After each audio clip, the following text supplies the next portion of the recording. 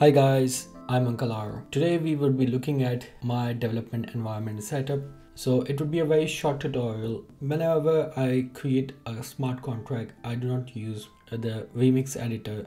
Uh, the only reason is that Remix is still very immature it is good for experimentation but when you're working in production you can't work with remix so uh, like for example if i'm writing test for the smart contract i have got full control on my local i can look at all the libraries i can enter the wallet addresses and everything and then I can run the test very easily. So to run the test I have to run a local blockchain server. So I would run npm run Ganache and then it would give me an error. Let, us see what what's going on over here. So it would be good to do some debugging regarding this as well which will help you understand like how I use my environment and how I go through all of these things.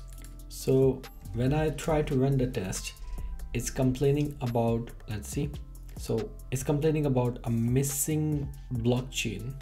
As you can see it is unable to reach the blockchain server on port 8545 so for that i need to run the blockchain server. So if i do npm run Ganache uh, in my package.json file i've already configured it to run the cli now let me just check what is my node version because i recently upgraded my node.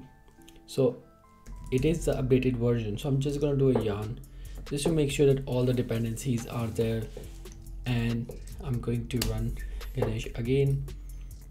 And it seems like there is still an issue over here. So let's do what everybody else does. We google the error message and we try to find the actual culprit. And i'm gonna just type the word ish. To solve this error set the node options environment to open ssl legacy paper editor. That's the solution that they are recommending okay. I'm just gonna use node options this with my command. So i'm not basically setting anything permanently.